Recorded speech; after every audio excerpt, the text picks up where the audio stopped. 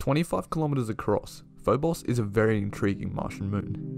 Not only is it quite small, but it resembles more of an asteroid than something you would expect to see orbiting Mars. The only problem Phobos has is how close it orbits to the Martian surface. The moon lies just 6,000 kilometers above the planet and orbits every 8 hours. It has the closest orbit of any moon in the solar system and, as a result, experiences comparatively larger tidal forces. And this could have dire consequences for the moon in the future.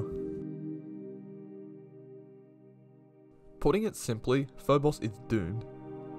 It orbits way too close to the Martian surface and does not stand much of a chance against the strong tidal forces caused by Mars. As the moon orbits, tidal forces from Mars are slowly pulling it in by 2 centimeters a year. This means that Phobos has only a 50 million year life left before it will either crash directly into Mars or be torn apart and form a planetary ring. Though unlikely, if the moon were to hit Mars before breaking up, the impact would be comparable to the asteroid that killed the dinosaurs. The explosion could blast dust and rock for hundreds of kilometers and would leave a crater approximately 200 kilometers across.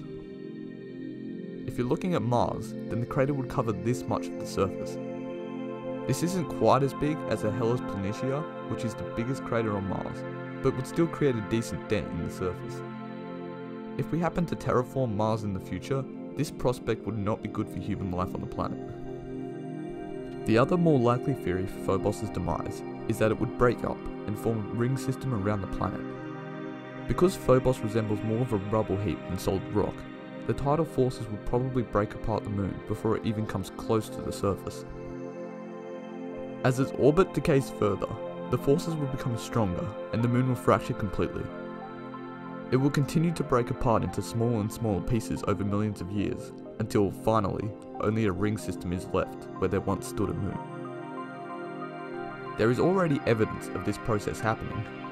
There are long grooves all over the surface of Phobos, possibly hinting at weak points in the moon's structure.